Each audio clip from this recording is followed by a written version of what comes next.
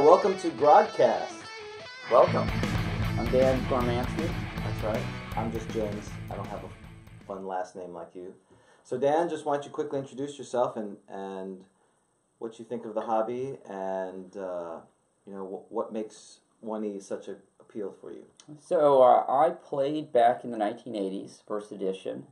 I believe it was the. I don't believe I played original or basic to the best of my knowledge. If I did, it wasn't a lot.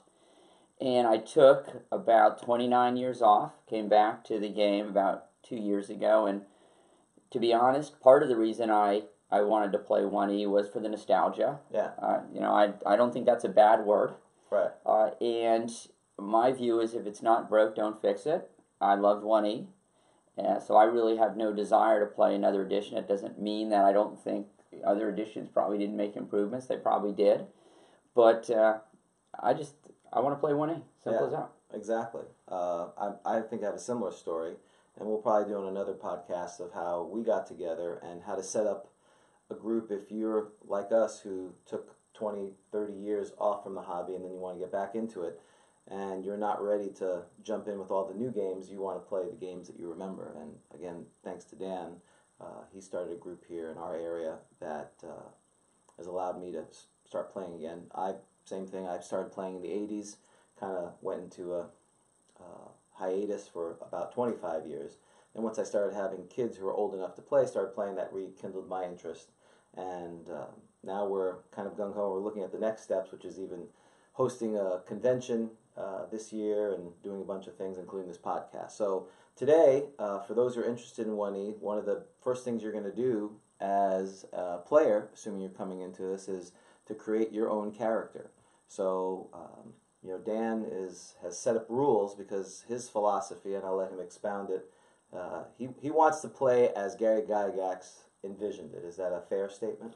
I I think that's a fair statement. And my understanding is that uh, Gary Gygax himself deviated from some of the rules, so may, maybe I'm even a little bit more uh, uh, uh, honing to the rules uh, than Gygax did. Uh, this is my thought on on raw, as they say it, right? Rules as written or, or by the book, is that I want to first play by the rules and then decide if a rule doesn't work, then maybe think about changing it. But I'm not a big fan of starting with discarding a rule from the outset because I think it's not going to work well. Uh, but so yeah, we're doing our best to play by the book, but I think we've already abandoned some rules. We'll talk about that, I assume, in other podcasts Right. about rules that are commonly discarded. Yeah, I think you and I have a similar thing. I think you're uh, you haven't been DMing as long as I have. Is that a fair statement? Oh, without I've only been DMing since I started playing again, so only about a year and a half or so. So, um, you know, where I quickly after starting playing, I started DMing. And so then, um, you know, we also have this nostalgia of how we played and what we thought our how we playing was. And, and I appreciate that you're like, well, I may have not played correctly back then. I want to do it right. And then, unfortunately, the reality of, of not only the rules, but the conditions of the players that you have and what they're willing to either endure or accept as fun. I use the open quotes, first time open quotes, that uh, what is fun, and there's always that tension between what the dungeon master wants to get out of it and what the players do. And again, there's that one e vibe, which I still think is preferable for my taste, which is you know it's a it's yes it's a collaborative thing, but the DM has to set the table and has to find some uh, enjoyment of that. Uh, where it seems like in later editions that tended to move towards with as long as the players were happy, the game was good. So let's talk about character rolling. What's your what's your questions or what's your thoughts on character development in one E? Okay, so uh, character development in in one E. Obviously, it starts with rolling your ability scores, right? I think that sort of drives everything, right? I mean, I remember when I rolled up a character back in the day. The first thing I did really before thinking about what race, what class was roll the dice. Right. Because, and again, I don't know how other editions work, but in 1E, of course, you for certain character classes, if you want to be them, you've got to make certain roles, and so certain character classes are going to be unusual. So, and I know that there's a litany of methods to roll your ability scores in 1E. You you're more ambitious than I am. You use more of these. I'm a, a what is it? The method, the four die six. Right. You you roll four dice six times, right? You take the three highest of each roll, and then you put them in any attribute you want.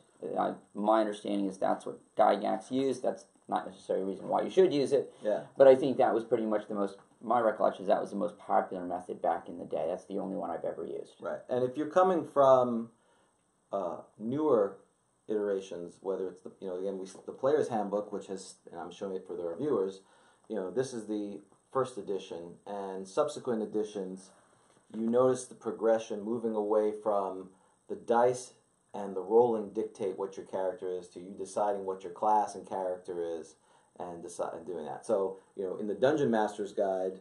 The first thing it talks about is the dice and probability, and then it goes right into how creating a player character. It doesn't talk about how what kind of character you want to roll, what kind of envision of your what your character is going to do. It talks about here's the ways you roll the dice, and there's the you know the four methods that are described in the Dungeon Master's Guide. And you know what I'll say about uh, rolling up characters is my recollection. I'm certain people have different experiences. I think I was fortunate enough that everyone I was played with, if you didn't make, if you really wanted to be a particular class that needed high scores and you didn't get the rolls, Right. people were generally okay with that. They Right. didn't complain a lot about it. You just accepted that that's that's the one e way. Not everyone's going to get to be the character class that they want. But um, so can I?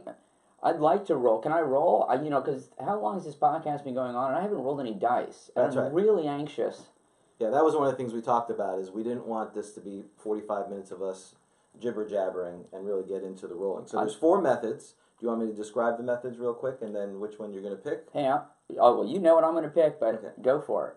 So in the Dungeon Master's Guide on page 11, uh, method one is all scores are recorded and arranged in the order the player desires. 4d6 are rolled, and the lowest die die or one of the lower is discarded. Method two is all scores are recorded and arranged as in method one. 3d6 are rolled 12 times, and the highest six. So the first way you roll 4d6 six times, you drop the lowest dice in each one, and you can arrange them in order. The second one you roll 3d6 12 times, and you pick the top six.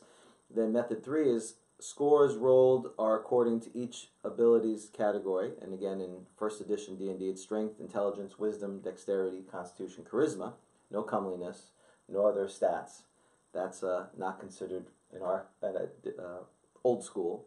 And three d six are rolled six times in each ability, and the highest score in each category is retained. And then method four, three d six are rolled sufficient times to generate six ability scores in order for twelve characters. So basically, you roll twelve times and you pick the you pick the best uh, character. So which uh, method are you going to Is can I ask you? So method one is you. I can arrange it in whichever categories I want. The other ones are all the other ones. I can't arrange it in the order I want. That's uh, the only one that you can do. Method two, you can uh, arrange. Okay, because I think I think most people like. And the nice thing about arranging it, of course, is that if you want to be a particular class, you can move it into that. You don't want to be necessarily. I wouldn't. Might be entertaining to be the magic user with the 17 strength and the 11 intelligence, but no, I, I'm a method one guy. Okay. That's always what I use. I think it's probably because it was method one and it was simple. Yeah. So, can I roll? Make it happen. All right, let's do it. And I think I'll roll a method three because, and we'll talk about the different methods. Go ahead. Okay. All right, so I've got Fourteen, it looks like. 14.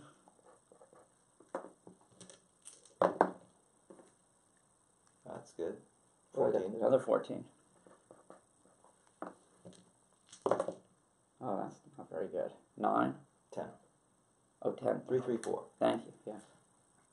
We have to remember this is audio, so you probably should, even though you're getting the sound of the dice rolling. Oh, that's not good. They wouldn't want to lose, yeah, the excitement of knowing, Nine.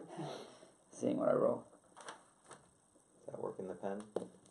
Neither pen is working. Oh, that's not good. That's a 13. We'll have to work on that. Oh, 14. All right, that's very standard score. But you know, that doesn't bother me at all. So I've got what, three 14s, a 13, a 10, and a 9. right. And and there is is is is it in uh, the player's handbook or somewhere? Maybe it's in the Dungeon Master's Guide where they talk about hopeless characters. I would not consider this a hopeless. Yeah, and so we can mention that real quick. Uh, if you have a score of 5 or lower, Mhm. that's going to force you to be a particular class, right? Okay, Because if you have a 5 or lower in a particular attribute, you can only be a particular class. So if you get a 5 or lower, you need to be very you need to be aware of where you put that in which attribute. And if you have two fives or lower, you throw the character out. Right. that, Oh, okay. that character is not adventuring because that character cannot be any of the character classes. In, in theory, if you rules is written based on the fact that each uh, ability score has a minimum that says you can only be this. If you have two of them that way, you basically precluded all of them. you are precluded. Yep, yep. Okay. Two two fives and below, and uh, you're done. Sounds good. So now you have these character, you have these attributes. So what's your thoughts on that? I don't have a lot of thoughts on this. uh, you know, I mean, so cer- of course, certain things are going to be eliminated. You know, there are certain character classes that you have to have pretty high scores for. Right. The subclasses. Right. The, the paladin, the ranger, the illusionist, um, then a monk, which is not a subclass. I'm certainly not going to be a bard. So uh, Bard is Appendix A. Are we are we going? Or is it appendix it's A? optional. It is. Right, it's an optional. It is an optional thing, and one that has been the so- source of mockery and confusion for what 30, 40 years almost. So, uh, because of the, the way it is, and we'll have, I'm sure. Well, I also play gnomes, so Wow. I'm used to mockery. okay, that's Yeah. true. Yes. Wait, wait. you It have- does, it's a moot point. I'm not being a bard. Okay. We don't have to cross that. and you bridge. can't be a gnome bard, so thank goodness for that. You no, and I'm not going to be a gnome illusionist because I don't have the scores. So I That's and that's right. So if you by looking through the pages, uh, you could be a cleric. You could be. Um, could you be? Uh, no, you. Could, do you? Let's see. You could be. You don't have any score above fifteen, correct? I do not. So you could not be a druid because you need a minimum of 15 charisma. So and I guess that's some of the charm of this, in that um, other things with you know choice analysis paralysis, you really can limit based on the scores that you have. So you can't be a druid, you can be a cleric. I appreciate you trying to construe this as That's right. that's Hey, good that's half, happened. half full, half full, exactly. Appreciate that. So, um, But you know, the, this is some some of the charm of one E two, and again, I, I don't know about other editions, but is that you get a pretty average character, right. and they start average, and you slowly build them up over a long time, and that, that can be a lot of fun. How many um, uh, 13s and 14s do you have? I have three 14s and one 13. I already know what I'm going to be. Okay, you could be a ranger, I think. Oh. No, four, two, you need two 14s. No, I have two 14s. Yeah, you could be uh, strength of le- not less than 13, intelligence not less than 13, uh, wisdom not less than 14, and 14 constitution. So- Wow, I don't know why I always viewed range, held them in such high esteem. I Well, that well, seems pretty easy to satisfy. well, 13, 14, I mean, with the 4d6 method, you do skew higher than the average, which would be, what, 3.5 times 3, about 10 and a half. Um, and that's what's interesting about dice and the and the Oh. crunchiness of this is is it it has this air of legitimacy. And again, reading this when I was whatever thirteen or fourteen when I first got the Dungeon Master's Guide and had the you know the bell curve and, and the Right. statistics, really felt oh this is a serious game for serious people. And Yeah. I realized uh, I'm not so serious, but that's another story. well, I think I, I think I've made my choice. Okay, so uh, of the classes in the player's handbook, what is now the other choice discussion is um, there's ways you can affect this. That's right. You can affect it by age and affect it by race. So maybe what, do you know the difference and what the options are with that? Um, so yeah, so I mean, we we could look that up. I I think I'm going to be. Is multi-class going to complicate things too much? No, I, I don't think so. I've always wanted to be a cleric ranger. Okay, so um, that's another interesting topic here with first edition. For those who come in future editions, there the it, there's less and less penalty or constrictions or restrictions to uh, class and race. You can decide I want to be an elf and I can be a ranger cleric. I could be a ranger illusionist. But in first edition, they are prescribed. Uh, multi-class combinations by race. There's certain things, Joe. If you are going to be a cleric ranger, there's one uh, race that allows that. Do you know which race that is? That is a half elf. That is correct. That's right. So, and what's the other challenge with being a half-elf cleric ranger? Oh, class limits. That's right. Class limits. Right. So what? Or Why, limits, why are there level limits from your? I like level limits, so I know this is very controversial. This is probably one of the most commonly uh, avoided uh, rules, Right. right, by the book is level. I like level limits. You know, my understanding is and so uh, when James is talking about level limits, we're talking about the fact that if you are if you're a human, there's no level limits. I think in any of them, right? Right. You, you're unlimited in terms of your levels, in terms of your advancement. Unless the class had a limit, like druids and monks. Uh, oh, right, exactly. Uh, if you are a, uh demi-human, elf, dwarf, half elf, gnome, halfling, then most of the time, not always, but most of the time, you're going to be limited in terms of your advancement, how high you can go. Uh, in actual, in so for like half orcs, I think cleric it's as low as four, and that's only probably if you have high wisdom. Uh, and That's so, correct. my understanding, the reason of that is if you play a demi-human, you're going to get certain advantages that a human would not. So as a half elf, my recollection, I have an increased chance of finding concealed doors and secret doors. Extra languages, surprising. There's a whole bunch of features. Exactly. So all there's all these additional benefits to being a demi-human as opposed to human. So my understanding is Gary Gygax to help maintain game balance and make sure everybody wasn't a demi-human, wanted to needed to have a reason to push people toward playing humans, and so that you know that what's being held out there is that unlimited advancement. So, but you know. We never played to 11th. Well, maybe we played about 11th or 12th level. But we never got terribly high. Right. And so, especially with 1E, with the attrition rate, with the death rate, the death toll, Yeah, you know, I mean, if, you know, the odds that you're going to get that high in a lot of these campaigns pretty low. So it never really bothered me. So yes, I'm absolutely fine with. particularly our current campaign, Well, that's another story. Yes, exactly. Where no one can get past second level.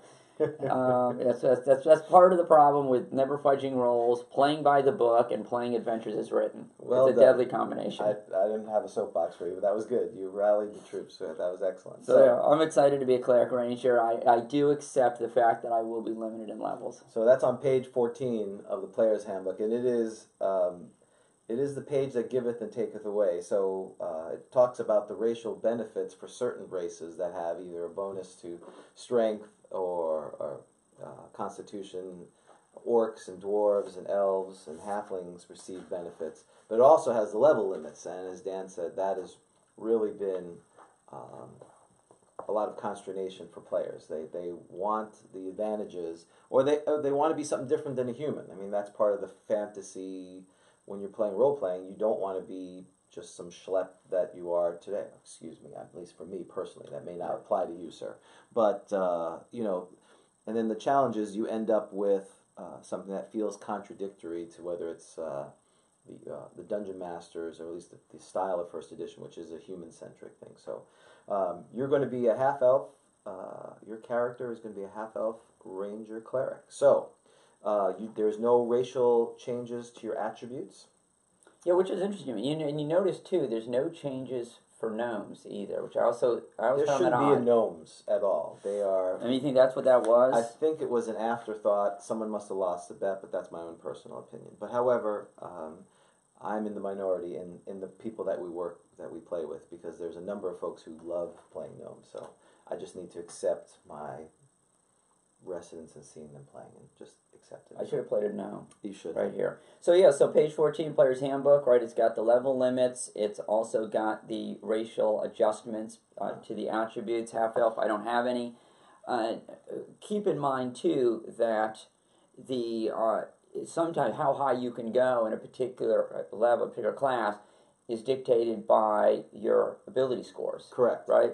Right. So, and I don't know if that's the case here with a half elf cleric uh, ranger. Now it looks like I'm fifth level on cleric. It doesn't matter what my attributes are, uh, and ranger. Ranger's eighth level, but there are some limitations to that. Right. So, which I wanted to. Right, so half elf fighters of less than 17 strength are limited to six level. So right there, so I, I can be a ranger, Right. but my low attributes are going to come back to cause me some issues because Right. it's really going to limit You're going to be sixth level. Six. uh, Hopefully, Sixth level If I'm ranger, lucky. fifth level cleric. if I'm lucky. Right. And um, another thing that we'll have to talk about is experience points and the challenge that um, one of the reasons players really despise level limits is once, if so, if you're multi-class, in your case, cleric ranger, uh, you can only your, your character can go only go to fifth level in cleric, and once you hit that, even though you can gain another level in ranger, you still are uh, the cleric level is still eating up experience points. So it's actually taking twice as long now in ranger to do that, and you're not getting any benefit, which is extremely frustrating. But And which brings up, um, I think, a more fundamental issue too is when deciding upon what class you're going to play. Yeah. Multi-class sounds awesome. I get to be both a cleric and a ranger, but uh, as James was talking about, even before, of course, you, you said when you reach the maximum one, you still have to do the half, which of course means that you're you're splitting up your experience points all the way through, starting at first level. All the experience points that you're getting are being divided equally amongst each of your classes. So Right. your movement as a multi-class character is going to be slow. So you may want to consider being just a single class if you're looking to advance quickly, right? In terms of but if you have no money and, and you never go back to town, that's another issue. But that's that's something for here. So okay, so uh, you get no racial uh, changes to your statistics. We'll re- we'll roll your age in a second. Um, so do you have a name for your cleric ranger? I don't. Do you have any suggestions? Uh, well, I, I'm I'm preference. Uh, well, what when we were young, it was always Strider or that Bob the Ranger because we weren't very creative. And now, as we've gotten older, we try to leverage uh, that. Uh, let's see. What was your? You've always played a gnome illusionist, so I'm always. It's always some kind of G thing. So, uh, what would be a good half elf ranger cleric name? Glade. Well, is it is it Glade? Glade. Like, G-L-A. like you hang out in the glade. Yeah, exactly. Glade. So so so how about um, how about Glade Leaf Trotter? Oh. I, I don't know why anyone would trot on leaves or whatever, but how about Glade Leaf Trotter? That that sounds good. It it has uh, the connotation that um, you can glide over them, or glade leaf glider. Glade. Well, there's too many G's there. I'm Okay. sorry. Okay, Uh, so Glade Leaf Trotter. I'm not offended much by that. So We're gonna need a pen that works. okay, you keep going. Okay. I'm gonna get a pen for you. So I'm going to be Glade Leaf Trotter. So one of the things you want to look at then is on the very next page, on page 15, it has the minimum and maximum attribute scores. right, And I think a lot of people forget to look at this. So I think we've had, thank you. I think we've had characters at times where you're playing the character and then you realize, oh, they don't have the minimum, whatever, to be that race. So True. when you're going to put your attributes in the sixth category, and I did method one, so the good news is I can put these attributes in any of the six ability scores I want. Right. But I'm going to want to keep an eye on page 15 of the player's handbook under half elf just to make sure that I'm complying with the minimum and maximum. It's half elf's pretty easy. I mean, Yeah. your maximums are almost always what I think they're actually. If you're as long as you're a male half elf, they're always 18. The minimum you just need to make look at six dexterity and a six con. That's going to be easy. Some of the tougher ones are things like half orc, where Right. your maximum wisdom is 14 right. which can really make it tough to be. You can be a cleric, half orc, but your wisdom's not going to be very high. Yeah, and dwarf and half orc minimum constitution. I guess it's assumed if you're playing a dwarf or a half elf, or excuse me, half orc, you would want to have a high constitution because they get a racial benefit to it. But uh, if you decide to have a char- a half orc who's very frail, uh, the minimum will not really allow it. You're going to be exceptional, at least from a bell curve perspective. A minimum of 13 is required to do that. So, Right. Exactly. good. So how you want to arrange them? Okay, so you want to think about what the prime requisites are for each character class. So for ranger, which is a subclass of fighter, of course, strength is going to be important, and I'm a cleric. A cleric wisdom is important. If you're a magic user, it's intelligence. Uh, if you're a thief, it's dexterity. Yeah. Uh, so I'm going to take two of my 14s, put one in strength and one in wisdom. Right. And then I've got another 14. You know, I'm a, a ranger. I Well, you know, rangers like, uh, you know, well, high dexterity can help you with missile attacks, though I don't know that I've got a high enough dexterity to Well, make my- a difference. My thought would be, um, and again, for folks who are coming into this from other uh, editions, later editions, um, really for most uh, attributes, you have to be above 14 to start seeing a benefit uh, for most uh, attributes. So, strength, you don't get a bonus to either damage until uh, 15 or 16. Intelligence, there really is no benefit. Uh, uh, mechanically, but it does help with languages or spell acquisition and memorization. Wisdom is important for clerics because they get bonus spells depending on that. So I agree with you putting 14 there. Constitution, because you may be uh, mature and then there's a benefit to age, putting a 14 there, if it raises to 15, you would actually get a plus one to your hit points. Yeah, would I get does 15 dexterity get me something 15 does get you on the AC? uh, uh, minus one to AC. Okay, so the good news. Oh, but I, that's right. But the age is not dexterity is not. You're right. So James, James brought up a really good point, which is you can be pretty strategic about this. If you're using the adjustments based on age, and I think a lot of people didn't do that back in the day, right? Right. I think they forgot. I didn't know about it, to be perfectly honest. And those are in the Dungeon Master's Guide, page 13. Yeah, so the reality is, so some of the things that you would need to roll up your character are going to be found not only in the player's handbook, but they'll be found in the Dungeon Master's Guide. And the age, using the age chart is really nice because it, I think it almost always increases Right. your attributes. So that's a really good point. So since I know that a 15 Constitution is going to give me some benefits more so than a, a dexterity just at 14 because you don't hit that nice magic number 15, I'm going to go ahead and put a 14 in Con, assuming that my age adjustment is going to help me get that up. I'm going to put a 13 in Dex. Yep. You know what I'm going to do? I envision, I know this is a little unusual, people almost always, it seems to me, unless they need to have a high charisma, they have charisma low. I'm going to switch it up. I'm going to have a 10 charisma because that's the way I view myself, and a 9 intelligence. So you're Did I have average intelligence. did I have everything I needed to be to be a ranger? That's another thing. Yeah, so let me confirm that. I think intelligence may need to be a little bit higher to be, if I recall, but let me confirm that. Okay, so ranger must have a strength not less than 13, intelligence not less than 13, Oh, see? wisdom not less than 14, and 14 or greater constitution.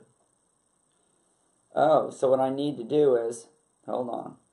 So I need to make this, I need to take this 14, all right, all right let's, I'm going to put the 9 on charisma for now. Right. All right.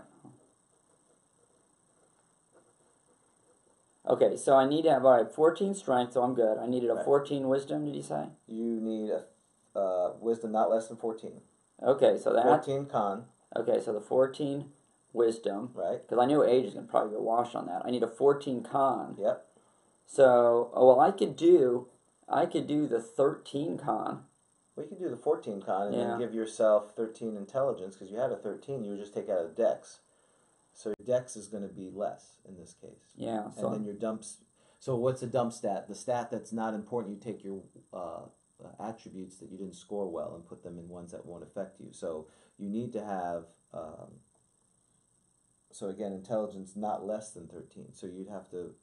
You'd have to Right. put 13 in your intelligence. Right, And so dex, dex, and con dex and cons are going to be the ten- ones 10 that. and 9. Got it, got it. All right, well, I'm doing a dex of 10. And and the So there it ends up with the from a mechanical perspective, and this is always a challenge too, because I'm sure some, some of the folks here are gonna be like, "Oh wow, they're trying to power game or maximize it." It's just, um, you know, that's certainly up to Dan um, to decide where he wants to put it. But if he wants to be a ranger and uh, hit the attributes, it does constrain some of that, which again for me allows.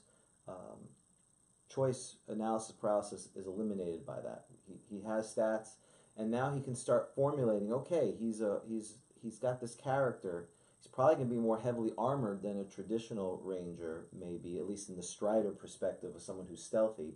Um, so he's going to start formulating how what his character's backstory is without having to start with the backstory and then try to figure out the character, which again is is a, is a play of style that uh, Dan and I find very appealing.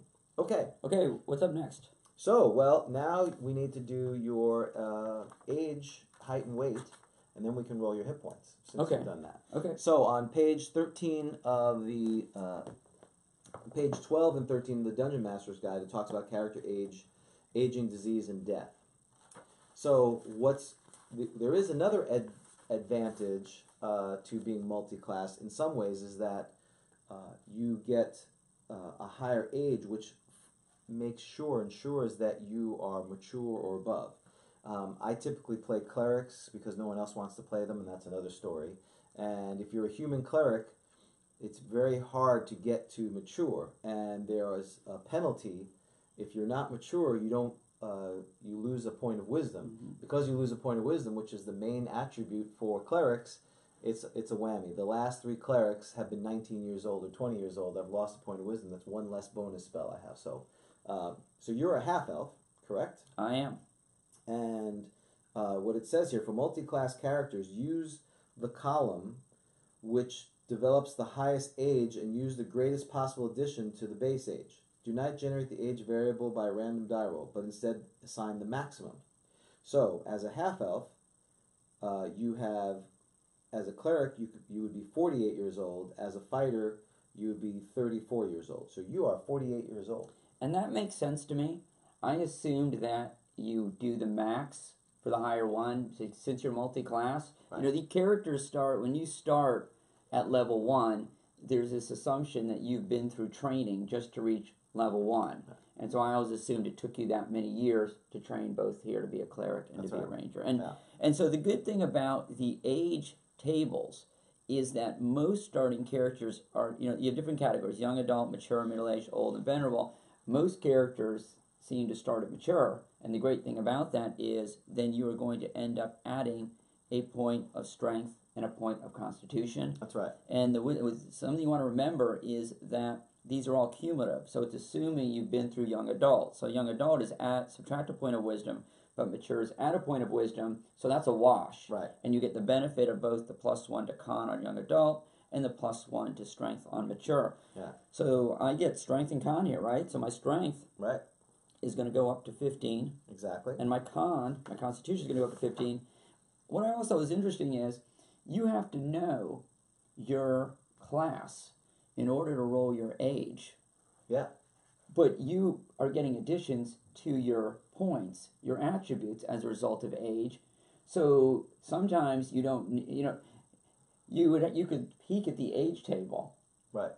and I guess say, well, I'm hoping if I know I'll make it into this age range, I'll be able to be this class because I'm going to be mature and I'll get the points. So it's a little, it's a little weird Yeah. to me that way. But okay, And in in the cleric example, if you're a human cleric, and let's say I rolled terribly, but I'm still trying to plow through it, and my highest stat is is uh, a nine or something, and if I don't roll high enough age, I could lose a point of wisdom and then not meet the minimum for wisdom, and then I would basically have to start over again.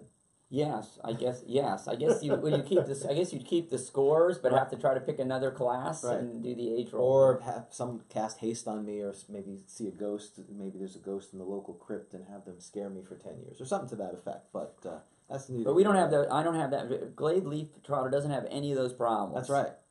So you're you're being very uh, uh, strategic in your plannings. That's very good. Taking the scores that you have and trying to at least uh, have some attributes that uh, that are not only playable but have some exceptional things. So, okay. So the next uh, thing you normally we would roll is age, and weight, and then also we would have um, your starting money because that's how you figure out your uh, what equipment that you'd have. And now the height and weight again. I correct me if wrong. We've got to go to the Dungeon Master's Guide. You're That's not going right. to find the player's handbook. And actually, what you have to use is the table for non-player characters. That's but I, I know there's somewhere. I don't know if it was Dragon Magazine or somewhere. They say specifically, yeah, refer to those tables. So just because NPC, you still would use that table. And don't underestimate the importance of rolling your height and weight because I know James. I know we've seen this in our games. Is that something happens and the DM said the dungeon master says, "Well, what's your height?" Right. Or what's your weight? And the person says, "I don't know." Yeah. So you should definitely roll that up because it does become relevant at times. I think that's always been an interesting thing. The um, when we at least when I was younger, we would just roll the the absolute minimum to get playing. The stats, the Sure. hit points. We didn't even worry about. I think we probably missed in the DMG about uh, age. Changing your thing. So we would just put the minimum. We were more focused on what our hit points was, what our armor class was, which was the ability to be hit, and what magic items you had. Uh, as we've matured, I think fleshing out the character, which again, height and weight seems kind of a, an interesting thing, but it adds not only to role playing, but there are areas. What what would happen in yesterday's game that we had, we were trying to drag a couple of injured characters out, and uh, uh, Dan, uh, Dan and Ed, who were co-DMing last session, they were asking the player how much uh, how much do these guys weigh because you can only pull so much strength. So you're exactly right. All right, uh, height and weight. So you are. Oh, you know, I I sh- I didn't I shouldn't. We forgot one other critical thing. Your gender. Very true. Very true. You know, I'm gonna I'm gonna be uh, I'm gonna be uh, female. Okay, so you know this is in in 2019, which again, Happy New Year, by the way. Uh, in 2019, it seems like a very antiquated or from a different time, but there are gender limits here, and I know many people eschew them, but eschew them. Uh, but male and female had different racial minimums and maximums, so I don't think it affects you here. But if you were particularly in strength, uh, many of the female uh, gendered races have a less maximum strength. Uh, but in this case, that's not going to affect you. So you're going to be a male character.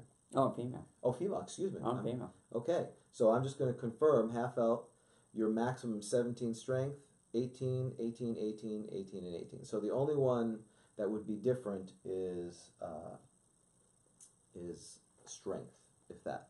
And again, those were, you know, we didn't even think about it then, and so it's. I'm, I'm glad we are progressing, uh, but um, you know that that is that thing of potentially some folks would be like, well, why, why do we have it? Well, that was the thought process back then was no uh, female could get to that, and and later editions have changed it. I don't think it's been a big deal, um, and certainly, uh, you know, that would be something as a dungeon master. If someone rolled an exceptional female character, I wouldn't have a problem with it because again, these are potentially exceptional characters, but that is part of the rules as written. Okay, so you are a female uh, half elf. So uh, you have to roll a d100 or a 2d10 to, to roll percentages to figure out whether uh, the average weight, excuse me, average height for a, a half elf is 100 inches. And and Oh, excuse me, wait, I apologize, 62 inches. And at some point, we need to talk about people who have hundreds of dice and people who come to a game with one set of dice. That's right. I'm a one set person, but well, as a dungeon master, the, the dice themselves, they, they had multifunctions. They were the monsters, they were the oh, Uh, they Okay. also I had many people who would come and they wouldn't have dice, and I wouldn't want them to touch my dice. I mean, that, Yeah, I got that. You don't want players touching your dice, Dan. You want to have, have so that was the thing. So got roll hundred. Okay, ninety-two. 92. So for height, uh, you are above, which means f- for a half elf, uh, you have an exceptional height. So for average height, so in this case, you would roll your average is 62 for a female, 62 inches, Okay. and you add a d6 to that. Okay. And what page number are you on? Oh, thank you. Yes, page 102 in the Dungeon Master's Guide. Three. Three. So you're 65 inches. So you're at five foot five. Yeah, right. Because yeah. Yep, five foot five. Okay. Uh, roll percentage again for your weight. Your average is 100 pounds. Nineteen. 19. You're underweight. What? This is very strange. Si- I have a slender character. Right. Who would have thought it? Right, but but the, the character this character is tall, which is Right. I'm more like a halfling. Yeah, Uh, In real or no. I wouldn't make you a halfling. That's that's. I, I'm, I'm, not a halfling with a known personality. That's it. That's Okay. it. I pre. That's true. So you're so you're underweight. Is that correct? That's that's what you said. yes, that's true. So in this case, uh, roll a d12 and subtract that from 100. What a game. D12. There you go. Subtract. Wow. You are, 12. you are 88 pounds. Your character, Is is it? Glade, is 88 pounds. Wait, now this, is Glade. this this is me. Yes. It's five foot five, 88 pounds. yes, Yes. a Okay. half elf. You uh you you skew more towards the elf than the human, or This or someone in your family has had relations with an elf, and that's what they would produce. right. That's a different. Now is it Glade or podcast. Gladys at this point? It's Glade. Okay, okay. It's Glade. Glade is a very malish type thing, but okay. There's a backstory there. See, it's developing. I see. right? Okay. There's going to be a backstory there. I got it. I Right? got it. could be a nickname. I like It it. could be Gladys, and I go by Glade. Yes. Well, it sounds tougher because you are a ranger. The lightweight is going to help me because if I'm down, Mhm. I'm easy to get out of there. Right. We learned that last session. You want to be light Right. when when when the party is fleeing the dungeon and Yeah. you've been knocked unconscious. You want to be light. You are a rag doll. You are so easy Yes. to carry around that will not be an issue. Perfect. All right. Excellent. Okay. Okay. So you are a female half elf ranger cleric um, who's five foot five and eighty eight pounds. Yes. So now we're at one of the most important roles, which is hit points. Yes. And so um, there's basically three or four options to hit points. There is what we consider the right way, which is what's the right way to roll hit points? You mean the by the book way? Right. You, you well, it's just that you roll for hit points, Right. including your starting hit points. None of this. Well, I assume we're going to talk about uh, this common house rule that's used. Yes. There's well, and, level? and it was codified in those later editions. But I don't know anything about that. That's right. You wouldn't know. You, you, your memory stopped uh, before that. Yeah. Um, so it is rules as written is you roll, um, and again for a normal character has one class, you would roll one dice depending on the class that it was, and whatever it is, that's how many hit points. Only modified by your Constitution uh, bonus or penalty depending on what it is. Now we have two interesting things happening here. Yes. Number one, I'm a ranger, which That's right. is the only class which starts out with two rolls. Well, the monk has as well. Oh, okay, and the monk, and uh, a multi-class. That's right. So we're going to average them. Is that correct? Yeah, so the rule for multi-class in first edition is you take uh, you roll the for each class you roll their dice and you add your Constitution bonus and you divide and then you roll. You add the con each time, Right. right and you because know in this case it's unique because you have three dice you're rolling. You're rolling two d8, two eight-sided dice for ranger, adding my con, right? and then adding your con, then adding one d8 for your cleric. So you're basically going to roll three eight-sided dice, add three, and divide by two, round up add three or add two. So uh, so It's- so it's- on the con. Oh, so I get the con for each dice. on the on the ranger. That's correct. I learned something. Yes. Okay, and you know, and this is so it can be a little bit weird with. Have I picked some? That was a D10. I'm giving you Oh, a D8. thank you. They That look, they look They look so similar. So you can be. Eh, we had a ranger with three hip starting hit points. Yes. Right, Dareth had three hit points. Three right? hit points oh as a ranger. and he had no con bonus, I believe, and so there it was. And so you're a frontline fire, have three hit points. Okay. So what are the rolls you rolled? So I have ten plus three Is is 13? divided Divided by by two. two we six and a round up on hit points. My understanding, right? Six, so you have seven points. Not bad. Not bad. That's not bad for Right. level one. Yes. When my uh, cleric that I'm running right now has two hit points. Two. Two. For those, I'm holding two fingers up just in case. You know, so. Um, and I was hit for uh, substantial damage last time, but I did not die, fortunately, which we'll talk about death and dying another time. Yeah. So you have seven hit points. Uh, so that's that is overall uh, pretty good. Now the average. So the other choices are, uh, you could do basically uh, average. The dungeon master could say you can uh, choose the average or roll, um, and that's typically how I do it for first level. That's how that's a house rule, though, right? That is a house rule. Later editions have that you can you either get the minimum and then even future editions they give maximum that. So again, it depends on uh, the style of play and also um, how deadly the game you want it to be.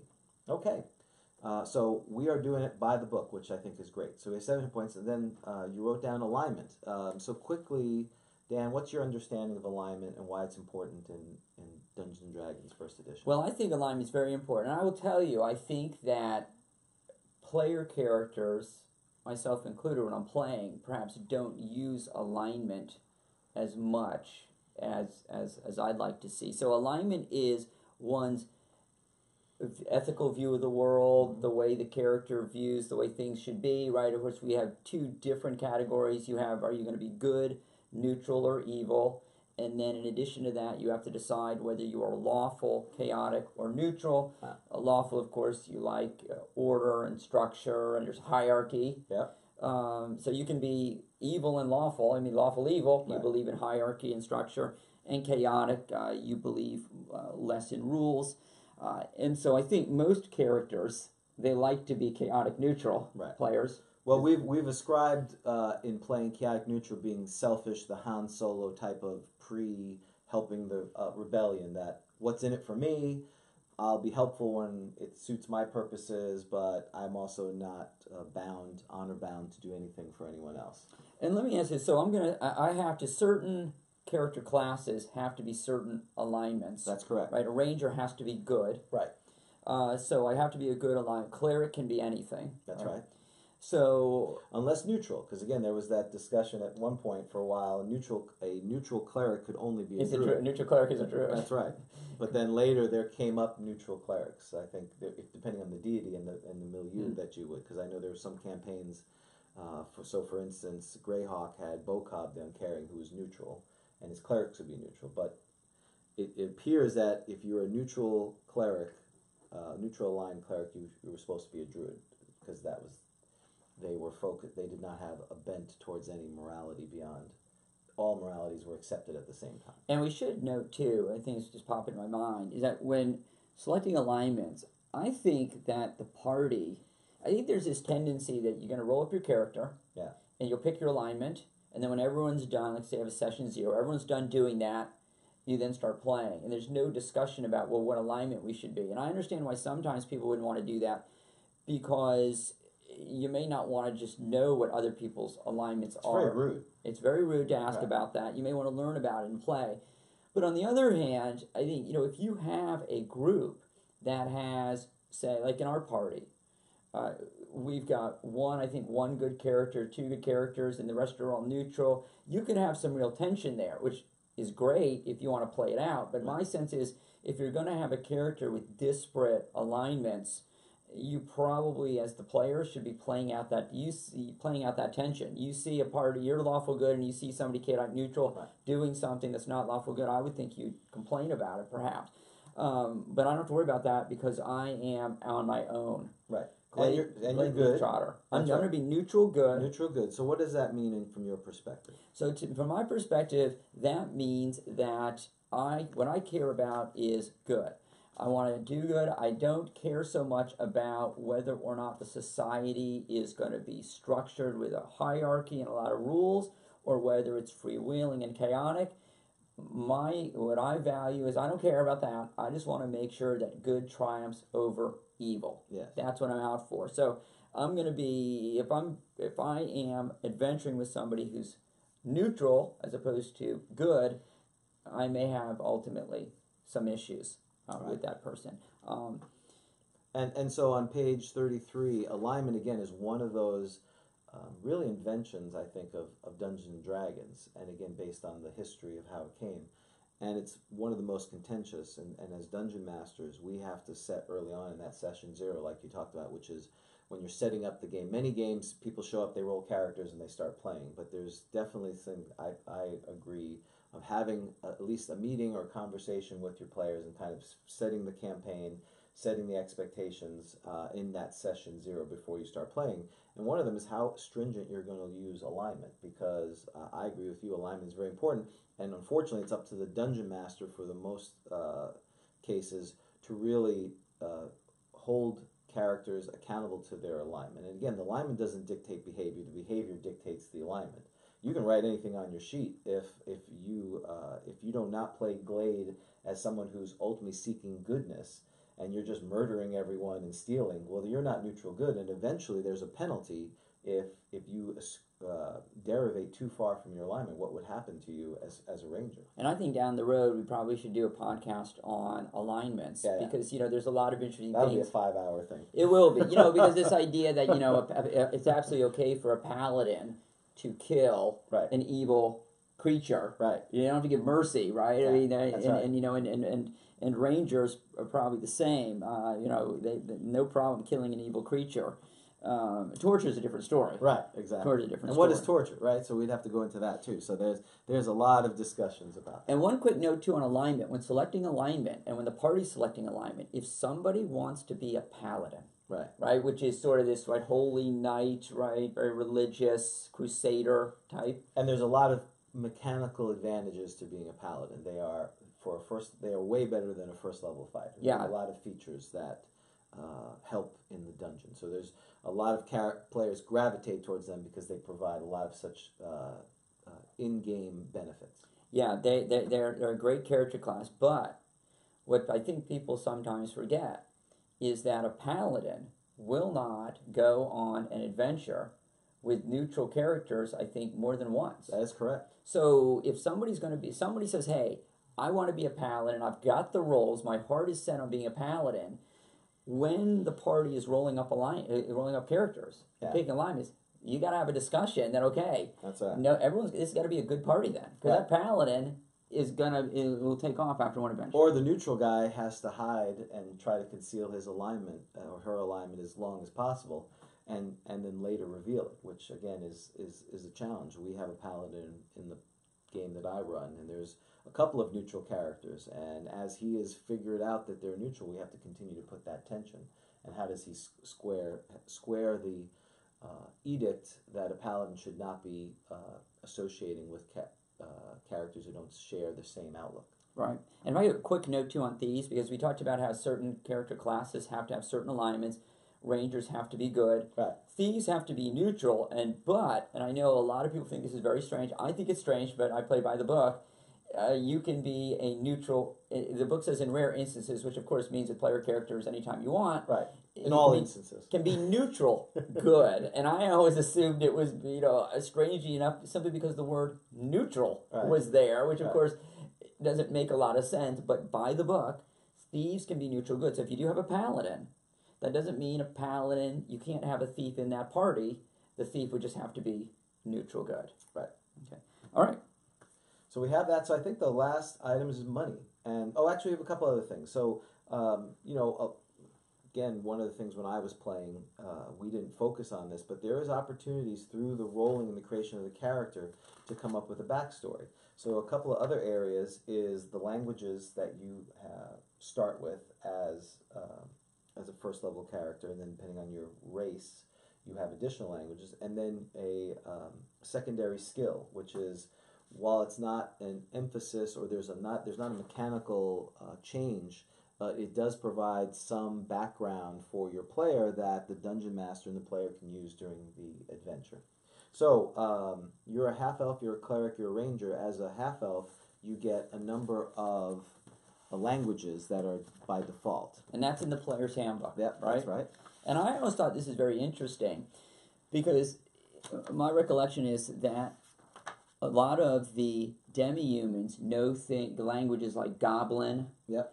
um, right, or orc, which I always thought was quite fascinating. Like, when did I learn? Is that is this part of schooling? Yeah. Like, you you, you take instead of Spanish class, you just yeah, yeah. If you're a ranger, I guess you just you study goblin. I mean, I'm sorry, you're. You're, you're a half elf. Right. Why do all half elves or whatever? Well, let's find out what we learn, and then we'll see if it's Right. It so, is unusual. So as you look at page seventeen, says, uh, all half elf characters are able to speak the common tongue, which again, common is the lingua franca of, of whatever milieu you set up.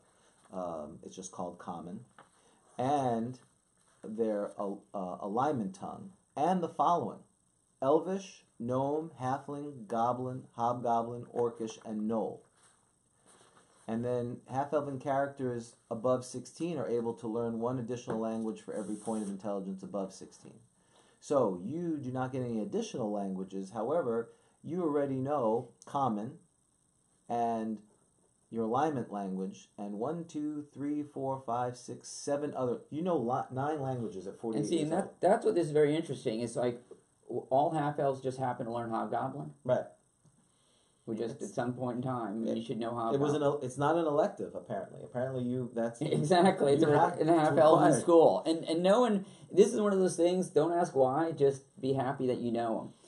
Now, my understanding is from the languages, because I think this is something that was commonly misunderstood. Is my understanding is the additional languages based on intelligence is the number of additional languages I can learn Right. but I am expected to actually learn those during. I don't just roll those. Right. You got to learn those during the campaign. You got to find someone to teach you the language. You don't just roll and get pixie. Right. Okay. Or, or you, the dungeon master could say yes. If, so if you have a very high intelligence that allows you the capacity to learn more, uh, even though a half elf who is uh, below intelligence would still have seven or eight languages, which again is very interesting. You could just be a, an ambassador at that point.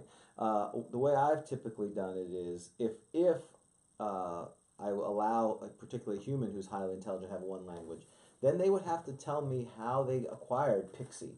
How in their backstory would they have gotten Pixie uh, to do that? If not, then uh, as Dan said, during the game you'd have to figure out. Oh, there's uh, you know one of the NPCs is Dwarvish. You would have to say, okay, every time during break, uh, during downtime, I'm I'm con- trying to learn Dwarvish while as a human, and you know, again, uh, based on our normal lives, that's that takes months to do or years to even become somewhat proficient. And, and what's the level of proficiency of languages?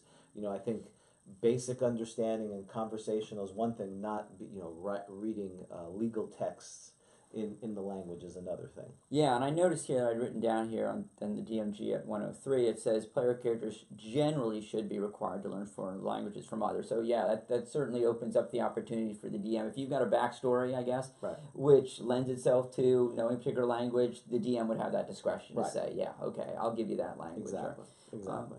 And I, another quick note to it I thought was interesting too is that my understanding is that not like let's say I run into a goblin. That goblin's not necessarily going to know common. right. So it's not like and not all monsters, right, or humanoids are going to know common. Some may, but you know, don't assume that they're all going to know common. And let me tell you, knowing these languages, goblin, hobgoblin, they can come in into a lot of use right. in an adventure. And I think that's where um, that's the the balance that I think one E, uh, and I'm sure other editions have it as well. Again, from my perspective, I went from one E, and my son plays fifth edition, so that's the only experience I really have. That's where one E um, you can be very war gamey, you know, not worry about uh, uh, you know all these other features, or if you leverage the features that are in the in the product. So, for instance, we were engaging with goblins. You know, it, it's up to the DM to enforce. The goblin may not know. It's very unlikely they know common, and that requires the player characters, if they have goblin, to be to be able to converse with them, and and that causes a challenge for the other players who don't know how to do that. That's exactly right. And see, and this another benefit to not being a human. You know, all these languages. Well, and which and that goes by if you don't put these rules in to at least promote humans, most people because well, you'll end up with a table full of demi humans. Which again, if that's the way you want it, that's fine. which we which is what happened with our first one of the one of the groups and the Pelennor campaign when I read it and I said no level limits or I can't remember one of the campaign and there was like one human yeah okay uh, all right what do I do next So let's see. We uh, we gave you. Um, we talked about uh, languages, which again you have. You have a secondary skill, so we'll look that up, and then we'll get your starting money. I like rolling for secondary skills right so as James mentioned in the D you have to go to the Dungeon Master's Guide and what at page twelve it looks like Yep, page twelve. there's a list of secondary skills, and I think if I recall correctly, the Dungeon Master's Guide says the player character, if they want, can select one, right? Maybe if it's part of their um, their backstory, or I assume that's probably certainly okay to allow the player to do that. But you can also roll. I like rolling Yeah. because I like sort of forcing a backstory to an extent Right. on me, and I like working it in there. So I'd like to roll. Yeah, you and I have the same perspective from that, which is we like the rolling to generate the character and some of the backstory, but it's perfectly acceptable and it says assign a skill randomly or select according to the background of your campaign. So I think there still is the idea, and this is always a tension between the player who have this, you know, I want to be a drow elf whatever and the dungeon master saying well we don't have drow elves they're not they're not even allowed per se and that tension again the, the thrust of the dungeon master's guide in first edition from from gary gygax is you know it's always in the idea of the campaign it's not you don't you you may have some ideas but it has to fit in with the campaign so you're going to roll I'm gonna roll, and, and please roll. For, have a secondary skill. Why wouldn't you want one? Because you never know. One E is hard enough. Right I'm walking around with seven hit points. yes That secondary skill, it's possible. It could come in handy. it could right. save my life. You just never know. So I'm gonna roll. it. excellent all right, 38. 38 well congratulations you are a limner slash painter I don't even know how do I spell limner. L I M N E R. Well, I would have guessed that. Now the next question is, what's a limner? I have no idea, but I, I Do you know you're even pronouncing it correctly? Are Well- you sure it's not limner? a limner. I don't know, I don't know. It's limner. We don't know what a limner. but we is. know what a painter is. I don't know what I am. Well, you're a painter, I'm a painter. See, this is great. so we'd have to look this up. And and when I was thirteen and twelve, this was how some of my vocabulary came to be because I'd be like, "What is that?" and we'd have to look it up. Well, the backstory is clearly coming together. Do you know why I'm an adventurer? I don't know why you're an adventurer. Because I don't want to be a painter. That's right. That's right. That's usually That's right. your secondary skill will usually be the reason you're an adventurer. That's right. Okay, perfect. I'm a You- painter. For 48 years, you were lear- you had some droning languages in the back as you were painting, yeah. and uh, you were Hot- in the woods and you'd Hobgoblin escape. on tape, you mean, Right, kind of? Right, yeah. You would be a, you'd be escape. There'd be magic mouse in the in the Elvish forest. You probably were part of the Elvish area. You were in some kind of lands between elves and humans because that's how you became half elf. You were forced to paint, and uh, you you realized this wasn't for you. There could have been a stranger in town one night. Well, you Never know. right? Coming through. That's true. Well, you know All that that could be part of the thing. So, uh, last thing we have is starting money. All right, now, I don't know if you want to talk about poly polyhedron, Okay. right? Which was the Sage Advice equivalent Yes. of the Role Playing Game Association newsletter, Right. right? Or the polyhedron was the newsletter. Right. Had something on there where they gave right the, polyhedron would give what they said were official rulings. Mhm. And polyhedron indicates that multi-class characters combined the starting money Wow. of yes of each of their classes. I think this is not what it's never mentioned in in the player's handbook or the DMG. Right, it's never talked about how you do that. And I think most people back in the day Right. probably averaged. Uh, I'm going to lobby here today to DM James to, to you know polyhedron are official rules, right? Yes. Um, and, and, and it says I get extra money, and if you need any convincing, Mhm. uh, my theory would be that in order to become two classes, I have to train in both classes. So you must have had a decent sum of money. I mean, you could say, well, you spent it all on two classes, Right. but so I'm going to lobby for the polyhedron rule. I don't know what you're if you're going to give it to me. So you get the maximum of you get the roll of both. I get the role of both. Okay. You combine the starting money of each of the classes. And you do not uh, add. You do not divide. them. You do not divide. You combine. I think that's fair, um, especially if uh, you know one of the challenges is the, the main cost for a starting character is their armor. Uh, the high, the, if you want to get some exceptional armor beyond leather and, and more of the common armor, you know. So th- in your case, a cleric and fighter, you you could have potentially some substantial money.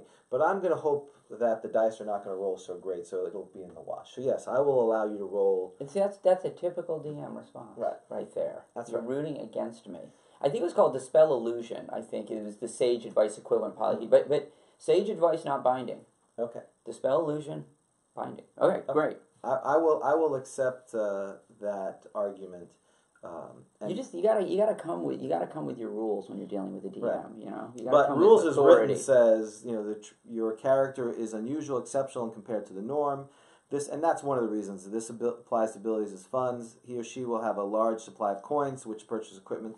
Possible gold coins with which a player begins depends on the character class. So again, a multi-class it doesn't define it.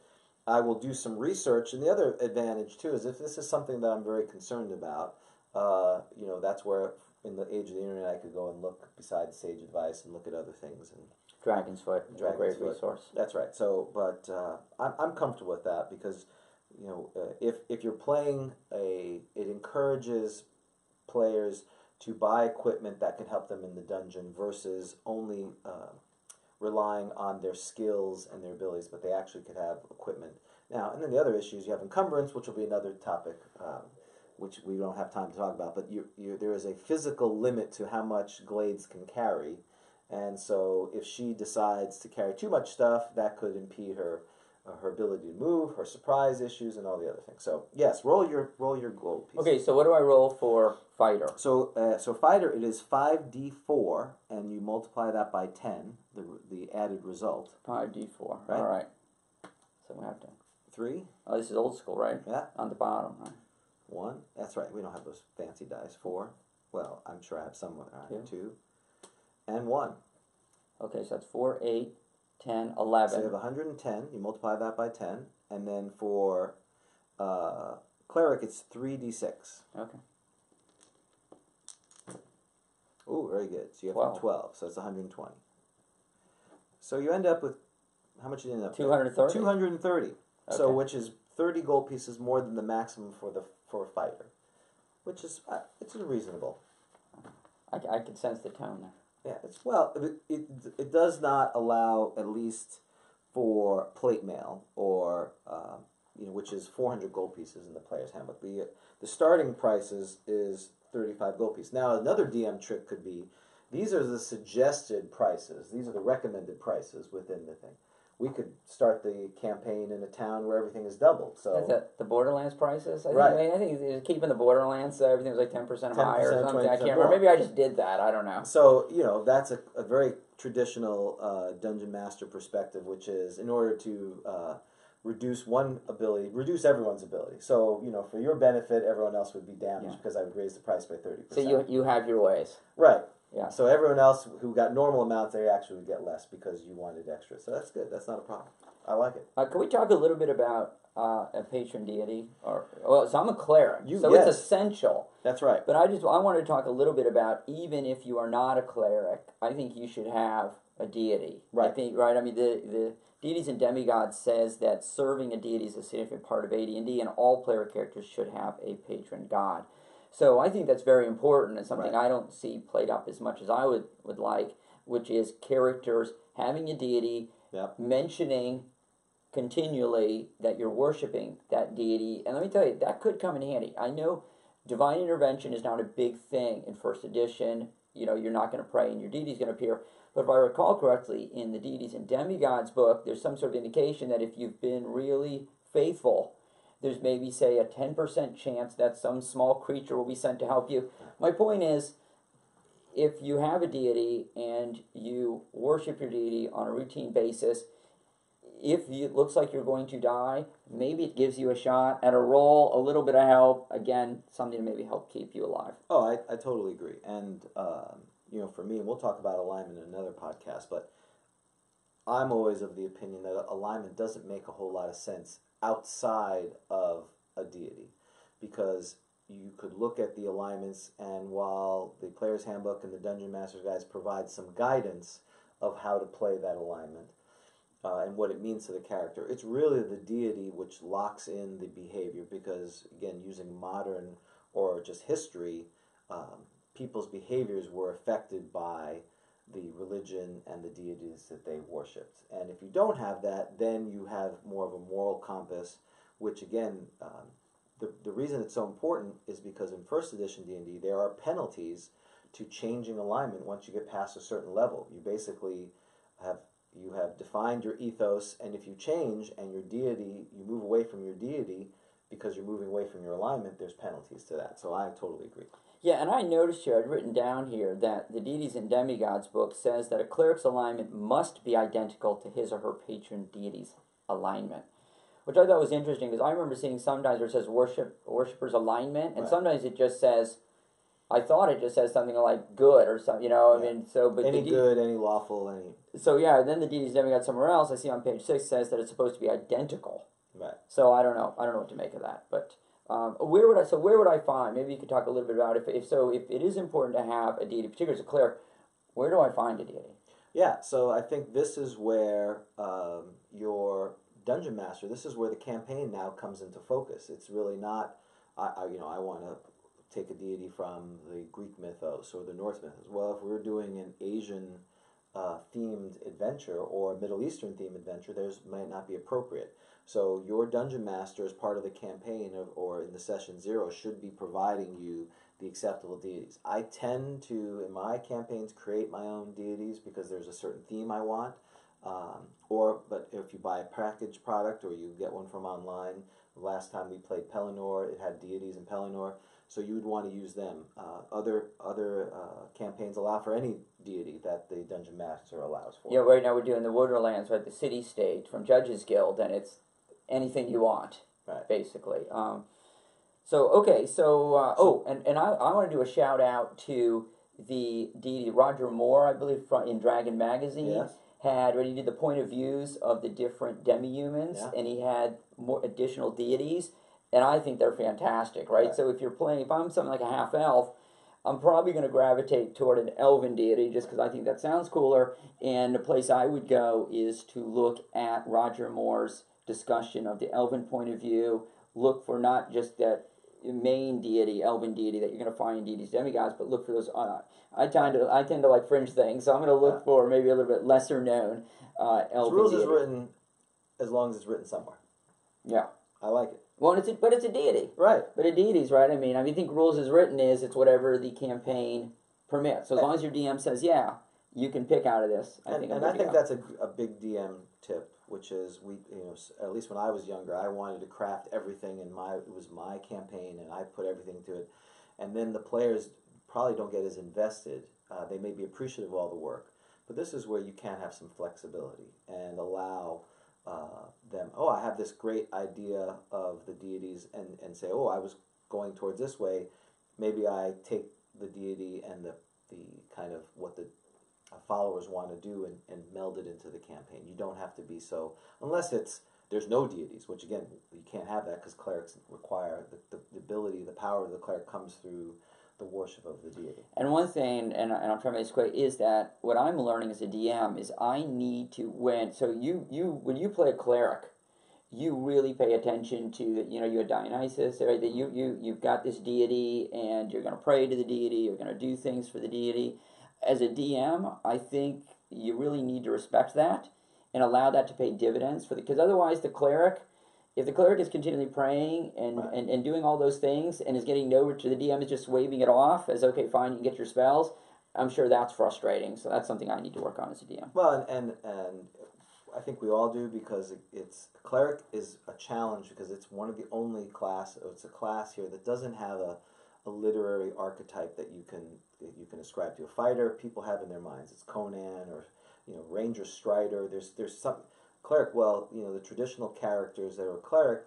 There really isn't. They're holy men or holy women, but doesn't have the relationship they have. So you have to take modern figures or, or religious figures in the past and meld them in with something that has a direct conduit to the deity. So it's it's a little tougher to.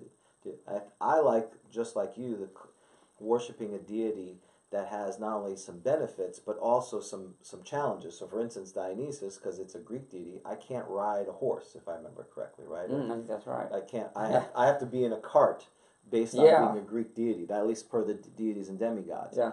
And I think this is where the dungeon master and the players, if they're amenable, and you can move away from the tradition, you know, very uh, the slam that first edition, older editions get. It's all about power gaming and min maxing and all these other things, and really focus on uh, having some flavor. So yes, I have to remind myself and remind Dan. Oh, we're going to go on horseback. I'm not going on horseback because I am a faithful servant of Dionysus, and then drink a lot And I guess and if throw up. and the reality, if you went, I was about to say the reality. That seems a little bit strange to say in this discussion. That's right. if you, if, if you do if you do ride a horse, then there's a good chance the next time you ask, look, I'm not you're not going to get struck with a lightning bolt, I assume. right. But the next time you ask, you may not get all of the spells you pray for, right? And so And okay. that's and that's the push pull too, right? The, the Greek gods are known for their uh, you know personalities and being very jealous. So again, if I hand wave, oh, I don't care, I'm going to ride a horse. There should be some direct results. Other deities are more aloof and uncaring because uh, you know they they they're either greater deities and that. So that's again a, an area for the player to really help flesh out the campaign. And um, also, so I'd like to do a shout out to the Judges Guilds, the Unknown Gods, which is a collection of lesser gods, and these are gods that you could actually encounter. So you know they got like around eight. Some of them have eighty hit points or so. You know they're like a tenth level character or something, and so you could actually have campaigns where you actually have interaction with some lesser deities. Okay. So I think for my list, you have your character. I mean, you would uh, now go through the player's handbook. Uh, I, I would give some guidance on what equipment, based on the starting town, that would be allowed or not allowed. Uh, there would be some negotiation on some items that may not be in the player's handbook that, that Glade would want to possess. And again, if it was appropriate for the area they're in and the style of campaign, we would figure that out. You would write them down. You'd figure out the encumbrance, and again, that's for another another day. And we would be ready to, to roll. What other questions or ch- discussions you think? So, so when I'm picking a weapon, because I think that's for a fighter, and, Oh, know, yes, that's always important. uh, Proficiencies, right? So maybe you can talk a little bit about because I know that in well, we're not going to be talking about unearthed arcana um, well, we can talk about it, but what we, the rules we'll be applying is pre Unearthed Arcana. Uh, I know that with Unearthed Arcana, I think it became weapon specialization, right? Yeah. Which I'm not familiar with. I'm familiar with weapon proficiencies. Right. So, um, in first edition, the idea is, uh, for the most part, if you're good at something, you do not get a penalty. Uh, so, uh, the idea of proficiency is uh, if you pick a weapon and you're proficient in it, you do not receive a penalty for it. If you pick up a weapon that you're not proficient in, you receive a, a, a negative, a penalty to it based on the type of class. So, uh, when we're talking about weapon proficiencies, primarily, um, fighters get less of a penalty if they pick up a weapon which is not uh, they're not proficient in, and the more less martial classes. So, for instance, thieves and uh, magic users, if they pick up weapons, they receive a greater penalty. Later editions started with you can pick up anything, but you get bonuses depending on if you're a class, and you can use and that bonuses get spread out to uh, uh, to more weapons if you're a martial type uh, class. So in this case, as a ranger and a cleric, you receive a certain amount of proficiencies. And if I remember correctly, that's uh, right after the classes, and it's uh, so there's two parts on page. Let's see, page sixteen, I think it is. No, page nineteen.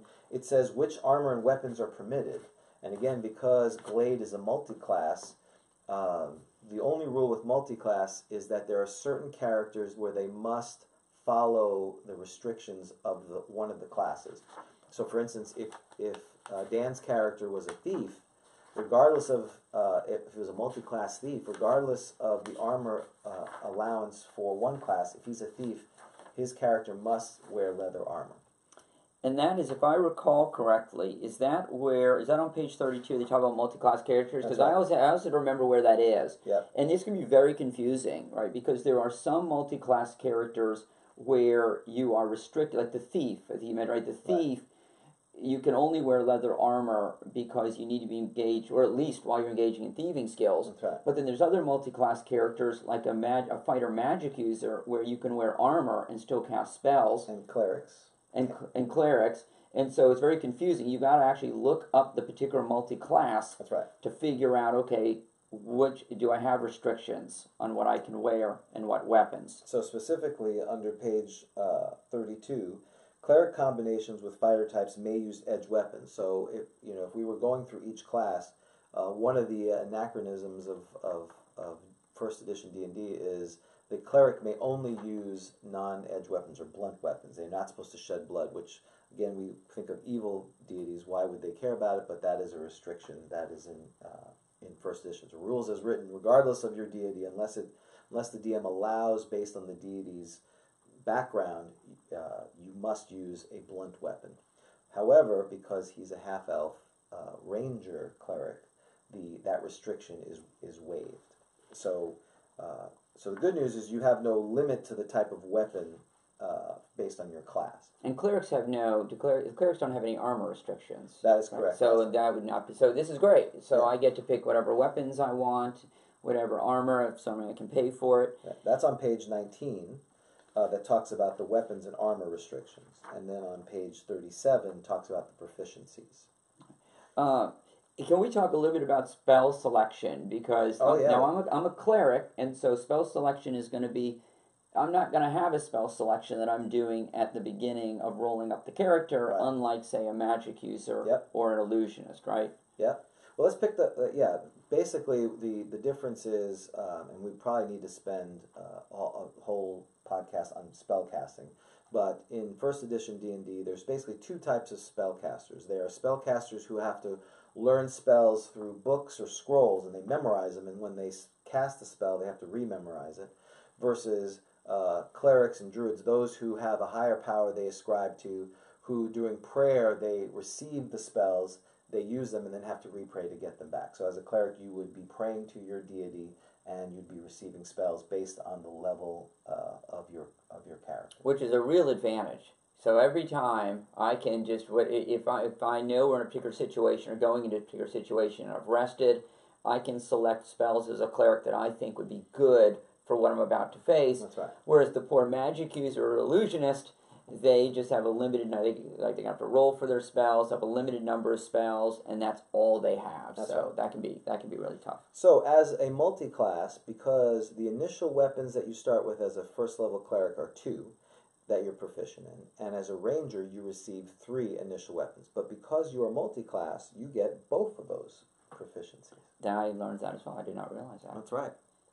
So, you get to pick five uh, weapons. So, typically, the way we would do is we would look in page 37, and it has the list of weapons, their damage, uh, their ability to injure based on the size of the target, and how much they weigh, and uh, again based on the type of uh, character uh, Dan's trying to run, he would pick in this case five different weapons that he could choose. So you know, kind of as you were thinking about this, what kind of uh, weapons were you kind of leaning towards? Well, I was leaning toward probably a. Uh, I mean, there's no reason not to have a long sword over a short sword if I can afford it, right? Well, you, you can you can afford anything at this point. Yes. Except so plate mail. That's I'm the only think- thing you can. I'm thinking a long sword, and I'm certainly seeing myself having a bow, a short bow. So I was leaning toward uh, a long sword and Okay, a short so bow. so you can put down long sword and short uh, short bow, which you definitely have the money to do that. And yeah, and, and you said that I've got five. Five proficiencies. Wow. I mean, you know, I'm certainly going to say dagger. And this goes back to why the uh, multi-class have that level limit because they have such advantages. There's no there's no comparison between a first level cleric or they're ba- he's basically two characters, two first level characters. But I'm going to move up slower. Yes. Move up slower. So, um, okay. Is there anything? Obviously, you know, I You could spend some more time thinking about it, but those two are kind of off. You have a miss, you have a missile weapon, you have a local, uh, uh, a, a melee weapon, and you could pick three others. Um, you know, the there are some advantages to certain types of weapons uh, based on the type of damage they do. This, and again, uh, there are some creatures that are more affected by um, piercing weapons. Some are receive less damage if it's a piercing or slashing weapon. So it's always good to have an edge weapon, a blunt weapon, a missile weapon if you can if you have the proficiencies to do that. Now again, he doesn't need to be or she doesn't need to have those proficiencies, but if she would invoke a penalty, and in her, in her case, uh, ranger gets a minus two on any weapon that they're not proficient in. okay. Okay. And unlike other editions, you must specify the type of weapon. So saying sword, you're proficient in sword, is not sufficient. You would have to say I'm proficient in longsword. So if you picked up a short sword, you would not be proficient in it unless you put a proficiency in that. Right. Got it. So eh, you know, a lot of times that's for a fighter. In your case, I would probably have long sword, short sword, bastard sword, so you would have a, so Well, you that- cover your bases because uh, magic items, which is again a, a big component of first edition, um, because generally your class, your characters, they progress, they get more spells, more hit points, but they really don't get additional features or abilities. It's really the magic items that do that. Always good to have some options. Okay. All right. Is there anything else? Obviously, um, I don't know if uh, you want to go through my purchase of equipment. We certainly can do that. Uh, I think. Well, what are the gen- what are the top things that you think uh, as a DM and as a player that people tend to forget off their character sheet for equipment that uh, in a first edition game are important that we tend to hand a lot of editions in the future other games kind of hand wave but really is, is key to being a successful first level character Right. So certain things, of course, you have to have. So you're going to have to purchase your armor, which will usually be a big expense. You've got to purchase your weapons, of course. You know, you need to have something on your feet. I mean, Yeah. first edition really is sort of the thing where you know you're stepping on something, and the dungeon master says to you, "Well, what's your footwear?" right And if it's not on your equipment list, you don't have it. Right. Right. So it's it's very much like that. Um, so I'd want to have some because I don't think armor is armor going to come with no any footwear. So I'm going to need to buy some footwear. Well, it, it's it's not specifically uh, described that it has footwear, and so because the list has boots, you have to assume you have to put boots on. Right. Uh, and you know, and that's what I love about first edition is that, you know, this kind of well, I can get high hard, high soft, low hard, low soft, is that you may say, well, I just need footwear, but depending upon the situation, Right. the DM is going to decide, okay, what's the percentage chance that you're injured, maybe based upon the footwear. That's right. So it can it, it can make a difference. Um, and you're gonna unlike my character, which unfortunately, I've convinced James to allow me to have the uh, both roles on the money. You, you made a persuasive argument. You're you're you're you're you're making some real tough choices usually. Yeah. In first edition, you're not going to have everything that you want. In terms of, and I'm just going through the equipment list on page 35 and 36. I think is it fair to say that if you're asking your DM for something that is not on the equipment list, you may have a hard time Right. getting it. Right? It would be unusual that the DM would be very receptive to saying, "Hey, you know what I want? I want to buy this. It's not on here." It usually doesn't go over well. I, I think there's three kind of buckets I see. I see things that are not on the list because it's a, a very confined list that I have no issues with. I want to have a pouch of sand, or uh, you know, a staff is there's it's not listed here. Quarter staff. Yes, you go pick up a stick and, and you or take a tree limb and you make it a staff. Those are within, and I don't really adjudicate. it. Then it's more of an encumbrance issue. How much, how many packs of sand you can carry around. The second one is items that seem reasonable, and as long as the technology of the area supports it, like a grappling hook. There is no grappling hook, at least in first edition, on this page. You uh, Or or or, or no, I'm going to say cantrips. Sorry, those are the spells. caltrops. Caltrops is not listed. There's a reference to them in one of the either the DMG or it's somewhere, Right. but it's not on the equipment list. That's right. And so, you know, that's that's one of those you could say, yes, I in this uh, in my campaign that is reasonable. There is a grappling hook, or at least some kind of hook that you could throw up there. You know, you could argue that if you really wanted to be a stickler, that if you were going to use that, you have to have a proficiency in it, or you would not be able to use it effectively to climb walls. Right. And then there's the third uh, group that I tend to say no to, which is borderline on advanced technology a repeating crossbow or a, sh- you know a, gunpowder based gun, which is a normal item, but it's not part of the milieu unless uh, you know that I've, I've got some kind of cross fantasy, a, a higher tech thing. Um, there, there's always that, uh, or an exceptional. You know, I have a super trained w- war elephant or something to that effect. I, Yeah. even though you may have the money for an elephant, is that something that you're going to have Right. with with a sh- with shotguns mounted on the side of it? You know, very high. Uh, I don't even know if it's high fantasy. It's just a style of play that's not a, a. So usually I say any kind of normal items you can have as long as you can carry it. Middle ones and the, the things that make sense with for the milieu, and then the third one is no, not the Gonzo kind of thing. Now, if I recall correctly, there is a reference somewhere to getting on. If you have a high strength, you could get, I believe, in addition to uh, range weapon like a bow, but it's a, it's a strength bow. Yep. But you actually have to have it custom made. It costs a lot of money. Right. And I, and I believe there was a Dragon magazine article talking about how to go about doing that. So that's so that's something, but that's harder to get, costs a lot of money, and takes time. And I would argue a first level character would not have. I would agree completely. So in terms of livestock, you know whether I'm going to get a horse or not, or some transportation like that, really depends upon whether the whole party is.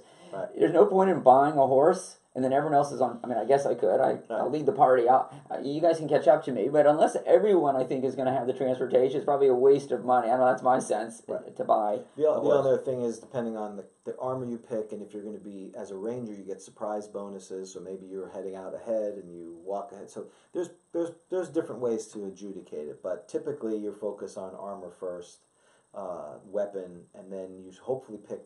Uh, so food is an important uh, item that you have, which a lot of times we tend to hand wave because we're like, ah, you have food. No, in first edition, there's it's it's hard to create food or get food, so you need to have it. And if you're out in the dungeon or in the wilderness, um, you may not you may starve, and there's there's issues with that. What other kind of um, items that are really synonymous with first edition play that people tend to forget Sure. as far as equipment? And one quick note, maybe talk about this down the road too, is I don't really, and I remember seeing discussion on this. I really, it's not clear to me why someone would want to buy iron rations over standard Oh, okay, because it's more expensive. Iron, but there must be a reason, right? That- it's the encumbrance.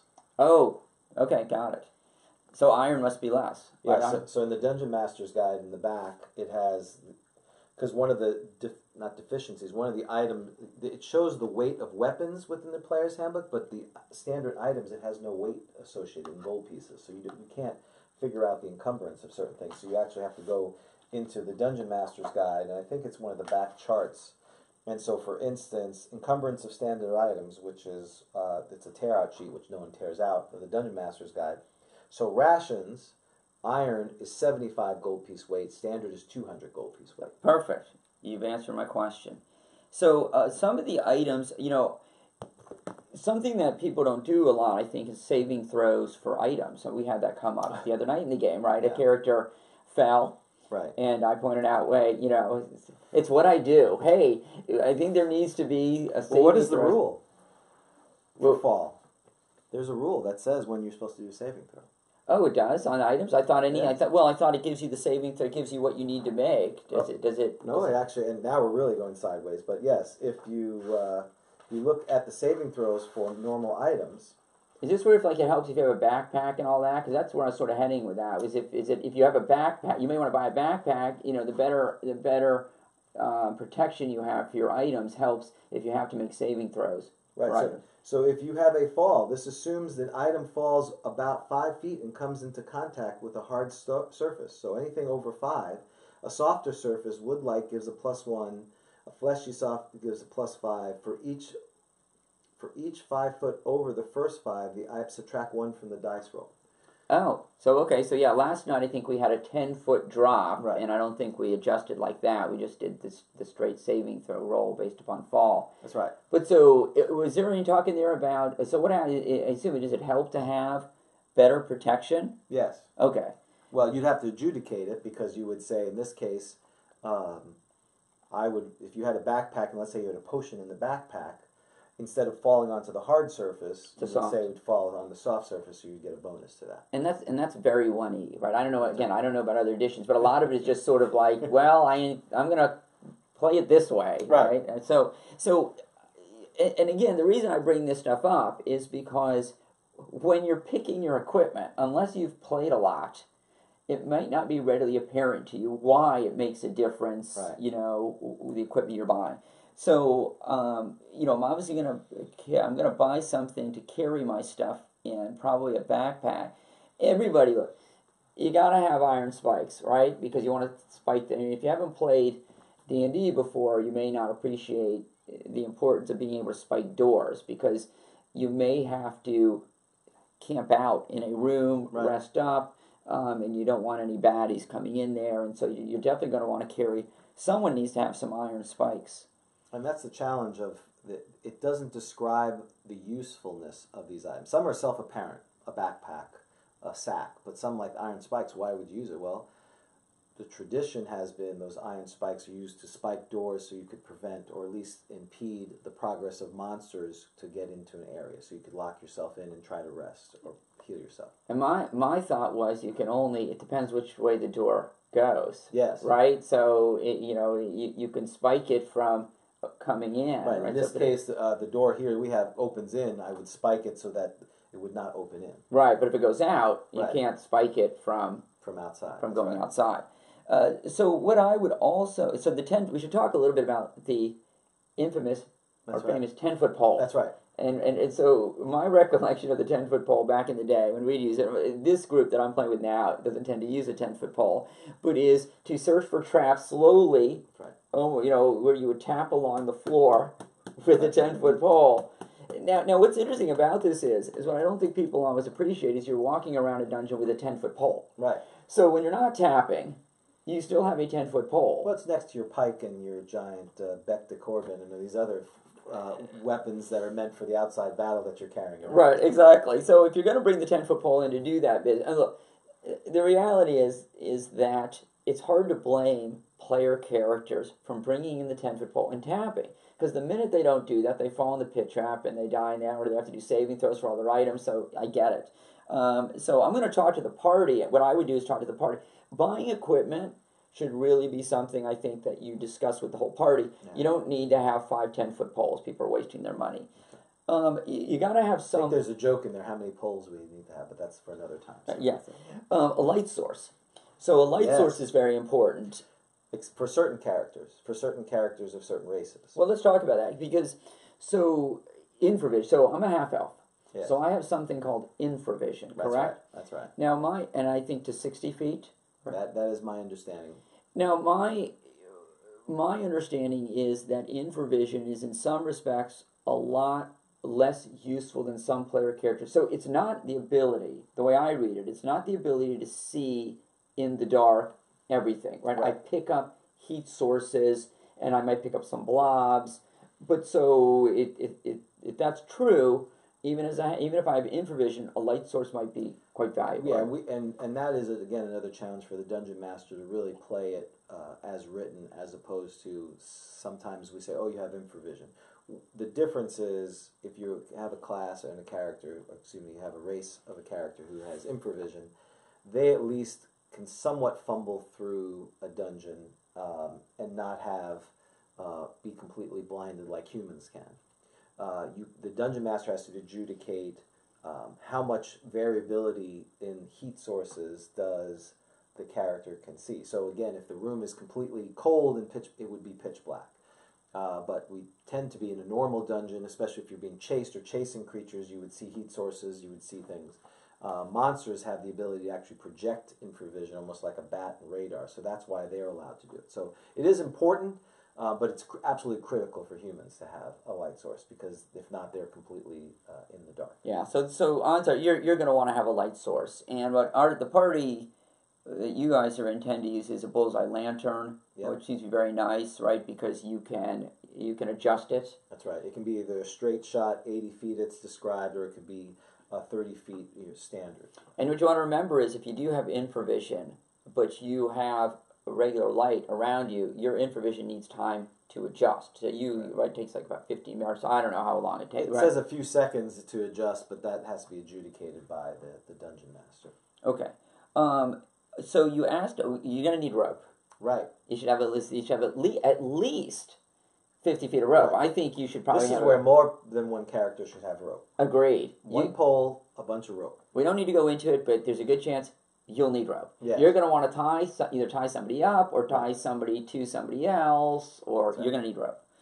Uh, an item that I really like that I always pick, and I don't see a lot of people pick, is a small mirror. Yes. I love the small mirror.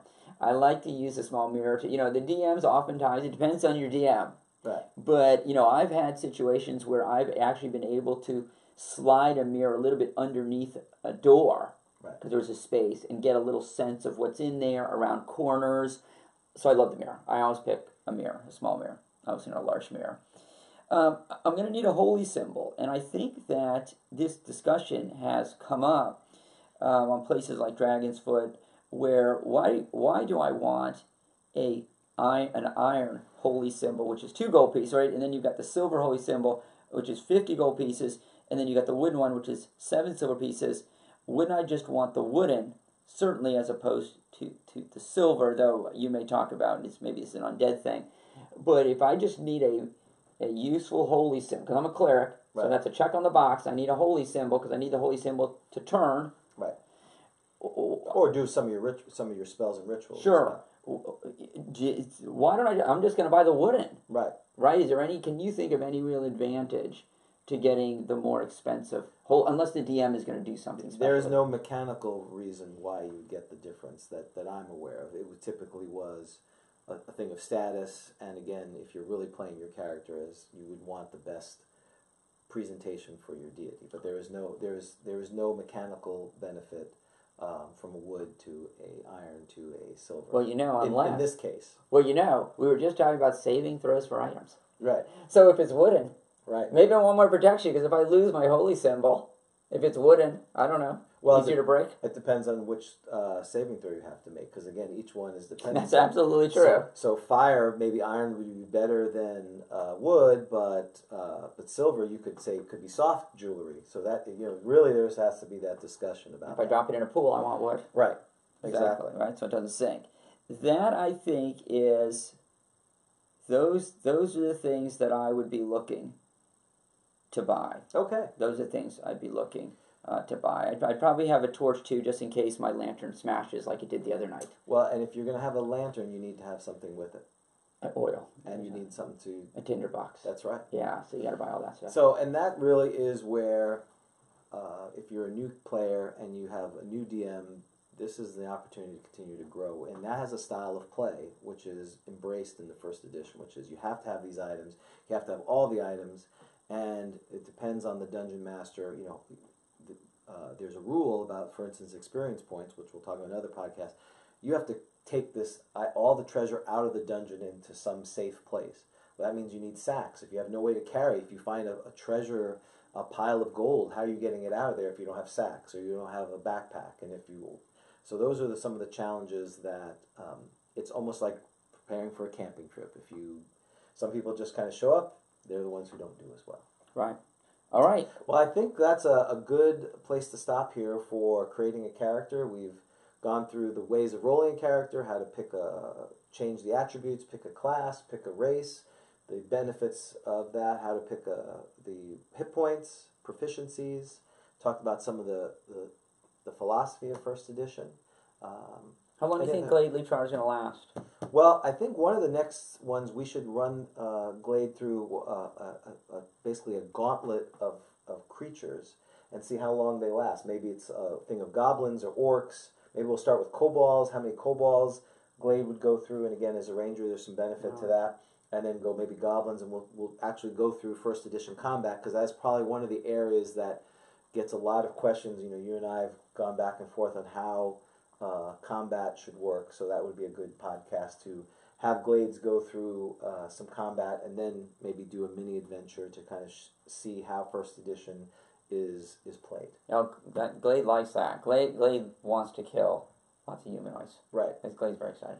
Uh, and probably that's what- what she was painting. She was painting scenes of her killing lots of human lives, And now Everyone saw those and they were like, you know what? perhaps you should do Perhaps yes, this is. this. Perhaps yes, should kill. I mean, I appreciate the mural on the side of the barn of you know the hobgoblin being Exactly. decapitated, but you Right. know Yeah, it's, it's a little disturbing. it's a little so impressive, but Yeah, disturbing. we should get it out there. yeah, so, it was uh, a win-win for the whole community. So we, we look forward to seeing you at the next uh, Grodcast here, and, and uh, you can check us out on, on grogcon.com where we're starting to plan the, uh, the end of year event called GrogCon, which will be part of the Crucible 8 convention. So we're looking forward to that. Uh, so please see it there. We're also on uh, Meetup and other social media. So on behalf of Dan, this is James signing off. All right, this is Dan signing off. All right.